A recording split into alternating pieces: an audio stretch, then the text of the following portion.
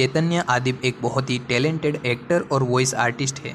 उनको आपने कई टीवी सीरियल्स में देखा होगा। वो एक अच्छे एक्टर तो है ही, लेकिन साथ में एक बहुत ही टैलेंटेड वॉइस आर्टिस्ट भी है।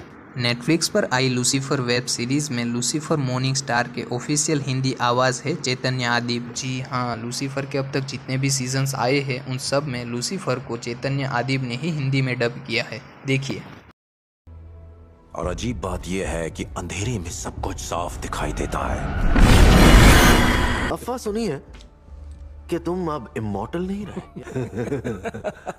तुम्हारे साथ धोखा हुआ है मालकम। हाँ? एंजल्स इंसानों को नहीं मार सकते, ये डैड का रूल है सॉरी शायद लूसीफर वेब सीरीज़ आने के बाद ही ज़्यादातर लोगों ने चैतन्य आदिब की आवाज़ को पहचाना होगा, लेकिन इससे पहले भी चैतन्य आदिब ने कई बड़े कैरेक्टर्स को हिंदी में अपनी आवाज़ दी है। जैसे कि हॉलीवुड मूवीज़ की बात करें तो स्पाइडरमैन ट्रायोलॉजी में जेम्स फ्रेंको को फास्ट एंड फ्यूरियस की मूवी सीरीज़ में पोल वॉकर को ट्वाइलाइट में रॉबर्ट पैटिनसन को एमसीयू मूवीज़ में क्लार्क ग्रीक को स्टार वार्स मूवी सीरीज़ में एडम ड्राइवर को लोगन में बॉयड होलब्रुक को, द ग्रेटेस्ट शो मैन में ह्यू जैकमैन को और वैनम में टॉम हार्डी को अपनी आवाज़ दी है।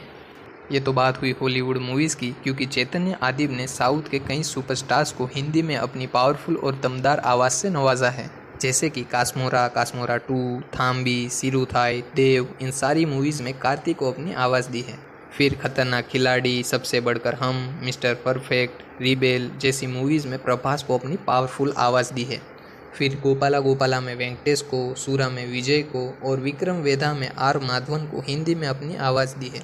और इनके सिवा कई मूवीज़ में नरेशन भी किया है। तो वाकई में चैतन्य आदिब एक कमाल के वॉइस आर्टिस्ट है और उन्होंने कई मूवीज़ और सीरीज़ को अपनी आवाज़ से दमदार बनाया है। तो अब आप लोग नीचे कमेंट करके बताइए चैतन्य आदिब की कौन सी आवाज़ या कौन सा कैरेक्टर आपको पसंद आया? और अगर डबिंग आर्टिस्ट से रिलेटेड ऐसी और भी इन्फॉर्मेशन या वीडियोस चाहिए तो मेरी चैनल को प्लीज़ सब्सक्राइब कर दीजिए यार।